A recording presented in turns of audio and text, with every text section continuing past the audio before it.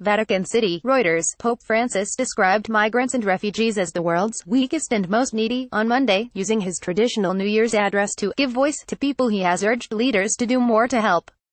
Francis reminded some 40,000 people who gathered in St.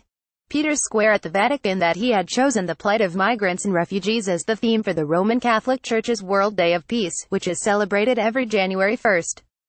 For this peace, to which everyone has a right, many of them are willing to risk their lives in a journey which is often long and dangerous. They are willing to face strain and suffering. Please, let us not extinguish the hope in their hearts, let us not suffocate their hopes for peace. Across the world, the mass movement of people has shot to the top of the political agenda, and Francis has made defending those who migrate a central theme of his papacy. Pope Francis leads a Mass to mark the World Day of Peace in St. Peter's Basilica at the Vatican January 1, 2018. Reuters, Max Rossi During a trip to Myanmar and Bangladesh last year, he met Muslim refugees and called for decisive measures to solve the political problems that caused many to flee.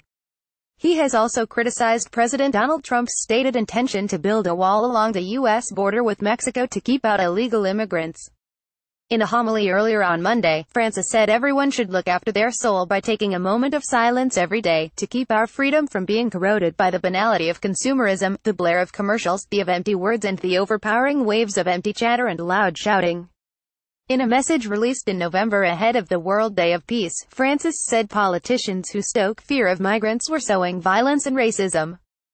He acknowledged that the presence of immigrants can compound existing problems in a country, but appealed for practical ways to be found to welcome newcomers.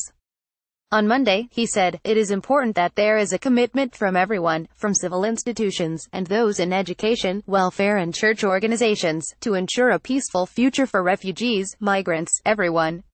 Reporting by Isla Binnie, editing by Jason Neely Your Standards. The Thomson Reuters Trust Principles.